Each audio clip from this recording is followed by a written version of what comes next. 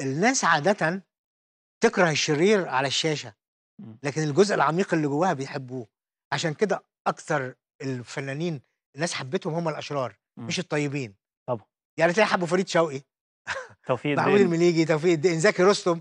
الأشرار آه. الأشرار غالبا الناس تحبهم إمم. ولكن لا تفصح عن الحب لكن ما في القلب في القلب إمم. لما يقول لك لا لا لا ده شرير أنا بخاف منه وبنزل تحت السرير أول ما أشوفه لا وإزاي والدم لكن ده مش حقيقي آه. ليه لأن في جزء في جزء من الشر داخل كل إنسان ونفس. وما سواها فلما فجورها. وتقواها إمم. كويس في جزء شرير وجزء خارج عن القانون لا نفصح عنه وجزء إنك بتاخد حقك بدراعك أيضا لا تفصح عنه هو بيحققه لك البطل ده بيحققه على الشاشة إمم. فالمليجي شأن أغلب الأشرار كانوا بيعبروا عن جزء كامن في إمم. ضمير الإنسان لا يفصح عنه احبوا